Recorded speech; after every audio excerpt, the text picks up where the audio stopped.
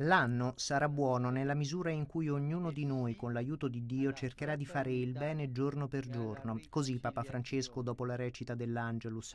In occasione della cinquantesima giornata mondiale della pace, il pontefice ha affermato che l'odio e la violenza si combattono solo con la fraternità e la riconciliazione. 50 anni or sono il beato Papa Paolo VI iniziò a celebrare in questa data la giornata mondiale della pace, ha ricordato Papa Bergoglio, per rafforzare l'impegno comune di costruire un un mondo pacifico e fraterno. Nel messaggio di quest'anno ho proposto di assumere la non violenza come stile per una politica di pace.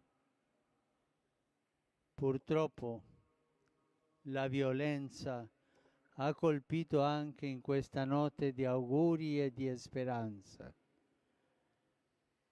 Addolorato esprimo la mia vicinanza al popolo turco. Prego per le numerose vittime e per i feriti e per tutta la nazione in lutto. Prima dell'Angelus, Francesco, commentando il Vangelo della prima domenica dell'anno che presenta la visita dei pastori alla grotta, ha osservato che Maria segue con attenzione il loro passaggio, perché in esso scorge il movimento di salvezza che scaturirà dall'opera del Figlio.